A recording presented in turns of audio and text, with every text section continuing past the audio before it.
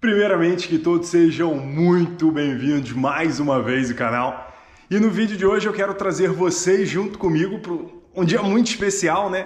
Que nós vamos estar indo para Miami, uma viagem para Miami, para estar tá indo com um amigo meu, né? Eu vou agora primeiro na casa dele para buscá-lo, para nós irmos para Miami, né? Mais especificamente para Coral Gables, para nós pegarmos um carro muito especial, né? Então, estou muito feliz de compartilhar esse vídeo. Desde já, não se esqueça de deixar o like, né?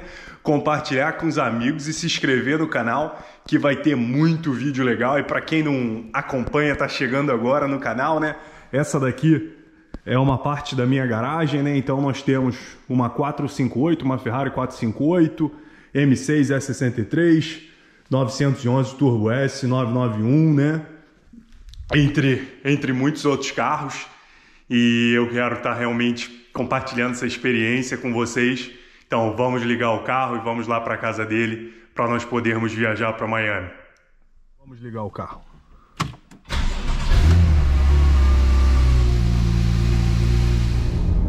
Então, galera, agora caminho, né? Indo para indo para casa dele para buscá-lo e eu particularmente estou muito feliz por ele, né? Muito feliz também de poder estar compartilhando com vocês, né?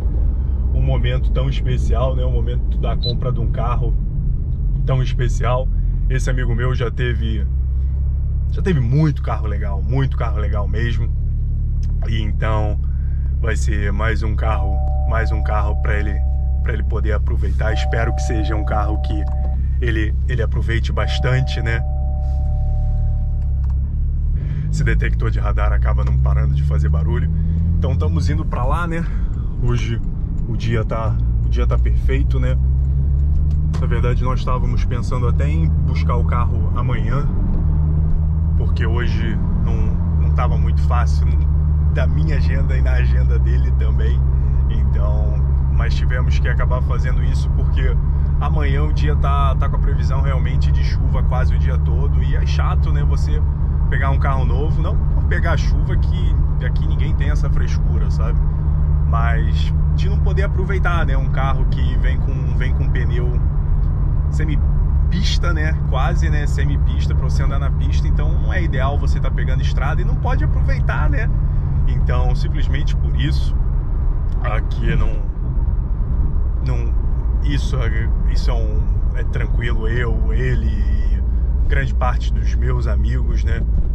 Eles não têm esse problema de usar carro na chuva, de, de usar o carro milhagem, sabe? Não temos esse problema. Eu acho que, infelizmente, as pessoas hoje em dia estão querendo colocar o carro mais como só investimento e ninguém está querendo mais aproveitar os carros. Não é o não é o meu caso, eu não penso assim. Eu acho que vocês no canal conseguem ver isso, né? Que eu uso todos os meus carros bastante, né? Não tenho, não tenho esse problema.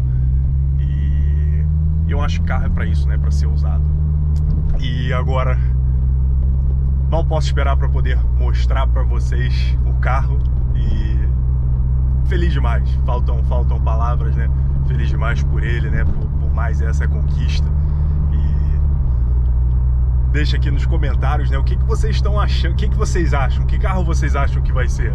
Deixa nos comentários que eu acho que eu acho que é é legal. Eu já cheguei a eu já cheguei a gravar na garagem dele, na verdade, esse, esse amigo meu é, é um no vídeo que eu trouxe trocando o escapamento do GT2 RS, que na garagem, no caso, naquele momento ele tinha uma, um GT2 RS, né? Um 991.2 e ele também tinha uma escuderia. Então uma, uma 430 escuderia, um carro fenomenal, né? Então, só para só dar um pouco de noção dos carros né, que, ele, que, ele, que ele já teve para vocês terem um pouco de como chutar. Eu acabei também comprando um pequeno presente para ele, né? Eu fui, fui na Porsche aqui, na Porsche aqui do sul de Orlando, acabei comprei comprei simplesmente um boné para ele, que achei que foi algo algo interessante. Eu até fiz um vídeo para vocês no canal. Então, basicamente isso. Agora vamos lá. E casa dele fica uns, uns 25 minutos daqui, né? De onde eu moro, 20, 25 minutos. Então vamos lá buscá-lo e quando, quando ele estiver no carro eu volto com vocês. E, e outra curiosidade, o carro já vai virar 33 mil milhas, aí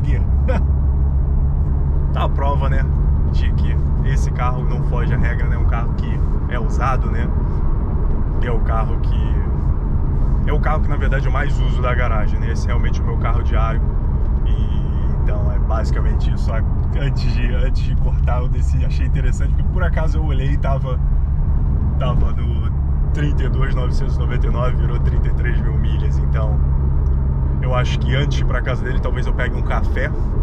Acho que eu vou pegar um café e depois eu vou, eu vou lá pra casa dele direto.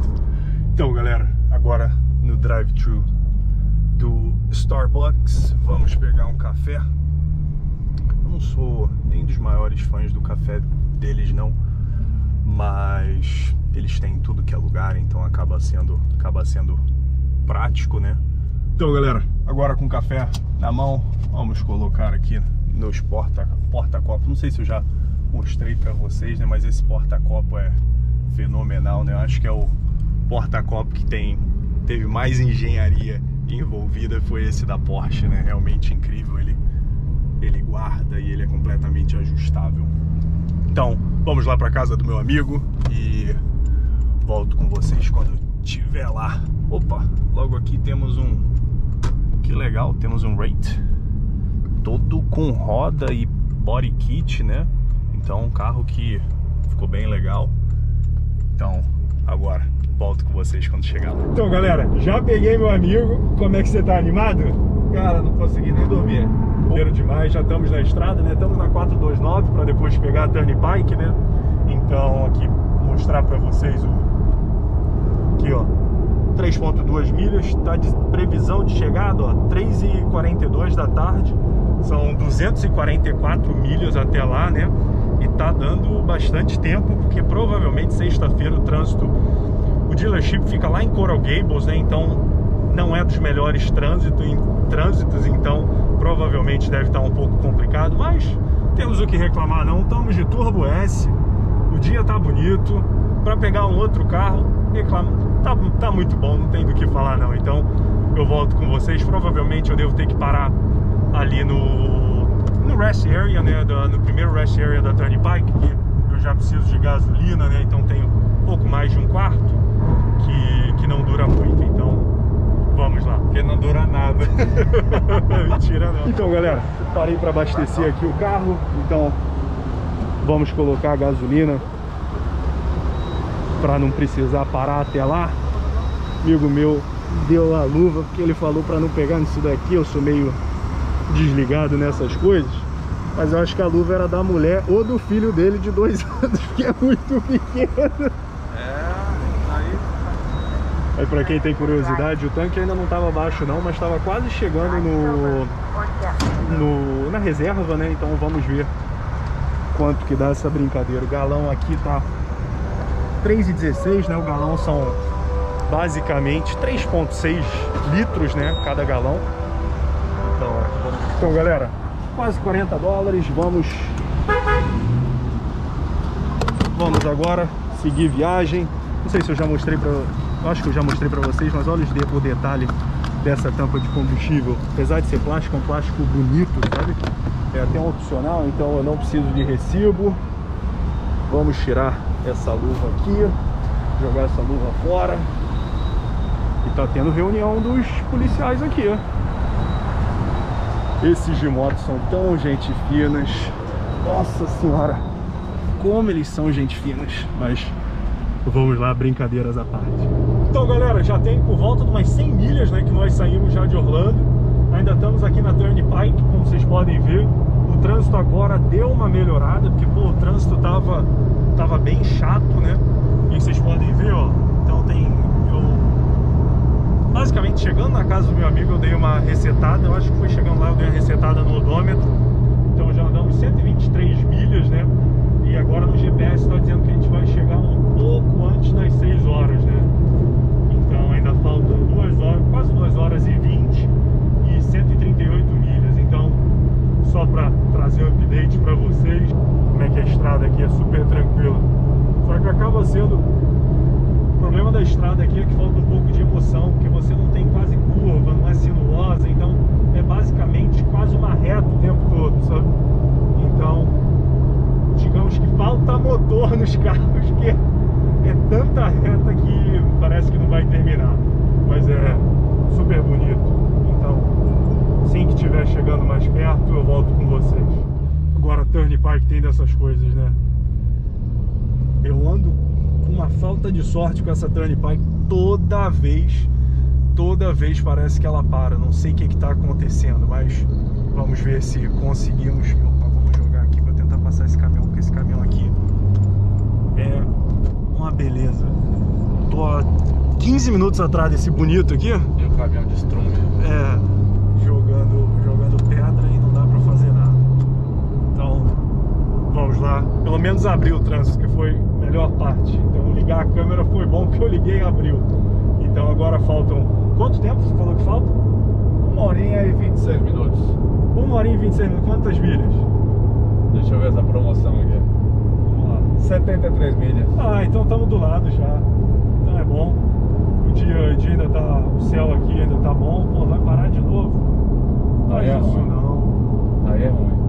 É, Estamos precisando de uma autobahn aqui, É Orlando, mentira, Miami. Não é mentira não. Essa turn, porque aqui nós temos duas vias, né? Nós temos a 95, que não é paga, e nós temos a Turnpike, que é paga. Só que a Turnpike, como vocês podem ver, são duas pistas indo, duas voltando a maior parte do tempo. Então, assim, você pega uma galera que anda mais devagar, sabe? Não respeita. Pista da esquerda é pista de ultrapassagem, né? Então a galera acaba não respeitando, aí fica essa belezura. Parte, vamos ver se a gente consegue pelo menos comer um pouco aqui. Então é basicamente isso, vocês podem ver que ali na frente já tá dando uma parada. E ainda tá relativamente cedo, ó, 4 e meia da tarde. Então ainda não tá aquele trânsito, né? Aquele trânsito pesado. Mas vamos aguardar. Mas E- hoje é sexta-feira, dia de Sexta- descer pra é Miami. mentira não. É mentira não. É, todo mundo resolveu descer, descer pra, pra Miami. Então vamos lá, esperamos chegar o quanto antes, né, para poder ver a criança. Então, galera, parando para ir no banheiro agora, caramba, eu esqueci a chave. Botei a chave aqui para não ficar no bolso. Então deixa eu pegar a chave do carro. Então, parada só para ir pro banheiro. Como é que o carro tá? Pegamos uns bichos aí. Mas faz parte, né? Aquele famoso carro na garagem não faz história, então tem que aproveitar mesmo e viajar. Então vamos lá no banheiro e faltando agora menos de uma hora. Então galera, agora já chegando em Miami, né? Vocês podem ver que downtown Miami tá aqui na frente, né? São esses prédios. Então ainda temos que ainda temos um pouco que agora o trânsito é chato, que a entrada ali de Coral Gables é bem chatinho, mas já é um já acaba sendo acaba sendo já mais tranquilo que já estamos próximos, né? Você já começa a pensar no carro, aí já dá até uma felicidade boa e deu pra na Turnpike tava na Turnpike vim mais tranquilo, uma benteiga aqui. Mas agora aqui chegando na 90, chegando aqui na 95, ali na Express Lane deu pra dá para dar uma boa usada na performance do Turbo S, né? Usar Olha lá. como ele foi e o Aston Martin Vantage, usar como foi como foi intencionado, né? Então é sempre bom dar até uma felicidade. E o mais incrível desse carro que eu acho é, é a dupla personalidade dele, porque ele realmente é um carro que você, quando tá usando tranquilo, né, uso normal, diário, não tá explorando a potência dele. Ele é muito um GT3 991 Mark I, branco, né, freio de metal. Então você não tá usando a potência do carro, o carro não, não parece ser tão incrível quanto é na, do lado da performance, né? E quando você explora a performance, o carro realmente é um canhão. Então, vamos lá. Agora em breve GPS está falando para andar 5 milhas 23 minutos. Só em Miami, né? Então 5 milhas é vezes 1.6, nós estamos falando menos de 10 quilômetros, né? Então algo tranquilo, mas tá certo, Van. Não tem problema não. Então, vamos lá. Galera, estamos quase chegando agora. Agora o carro aqui começa a ecoar, mesmo o turbo sem muito. Tá logo, logo ali já. O turbo dá uma, dá uma berrada. Então estamos quase, quase chegando ali já no dealership. Só esperar esse, esse sinal, né? Ele vai estar logo, se não me falha a memória, ele está logo ali à esquerda, né? Deixa eu ver aqui. Estão até me ligando. Aí dependendo lá, vamos ver. Será que o carro tá dentro do showroom? O que que tá? Deve estar lá na chuva. Então, galera, eu acho que eu vou terminar esse vídeo aqui pra vocês. E no próximo vídeo, fiquem ligados, no vídeo de amanhã, nós temos o vídeo pegando o carro. Então fiquem ligados, deixa aqui nos comentários para vocês verem, para vocês verem não, para vocês chutarem, né, que carro que nós estamos indo pegar. Eu acho que pelo boné que eu dei já conseguimos ver a marca, né? Então, desde já o meu muito obrigado à audiência a todos. Grande abraço, até o próximo vídeo.